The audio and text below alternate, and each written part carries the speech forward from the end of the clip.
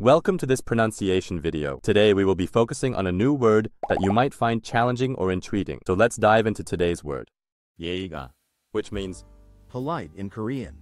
let's say it all together. 예의가, 예의가, 예의가. One more time.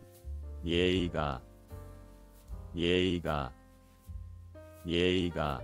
Thank you for joining us on this adventure in pronunciation. Remember, language is a journey, not a destination. Keep exploring, experimenting, and expanding your linguistic horizons. We'll see you next time.